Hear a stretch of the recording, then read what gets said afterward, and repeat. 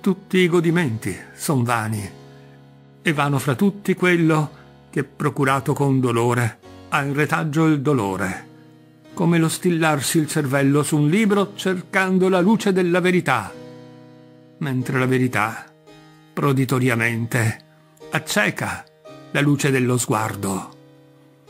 La luce che cerca la luce, priva di luce la luce. Prima che scopriate la luce in mezzo alle tenebre, la vostra luce diviene tenebra con la perdita dei vostri occhi.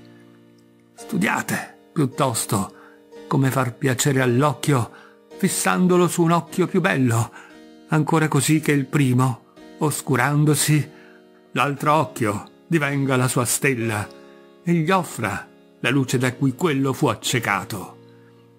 Lo studio è simile allo splendido sole del cielo, che non vuol lasciarsi scrutare da uno sguardo impertinente. Gli assidui sgobboni hanno fatto sempre magri acquisti all'infuori di qualche vile massima tolta dai libri altrui.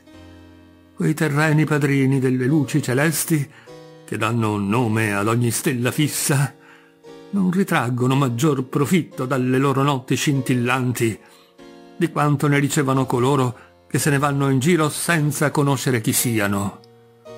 Conoscendo troppo, si ottiene soltanto d'essere conosciuti e un qualsiasi padrino è in grado di darvi un nome.